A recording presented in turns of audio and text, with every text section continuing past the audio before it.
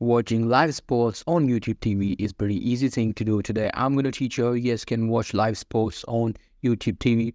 Now, as you guys know that YouTube has launched its YouTube TV, which is only available in USA yet, but it will be available internationally very soon. So how can you, you know, use this to watch, you know, sports? So as we know, it have different type of, you know, channels that you can watch. It also contains some of the sports channel. As you guys can see uh, in their main, you know, advertisement, you can see the ESPN channel, which will, you know, broadcast the uh, sports. So you will you will get access to a lot of channels uh, including the sports one. So in order to get the access you need to buy it first. As you guys can see it also gives you one month free trial. You can try that and you can try watching sport if you are able to find the, the suitable or your favorite sports on the trial which means you should buy it. If you cannot find it you can simply cancel the trial as well.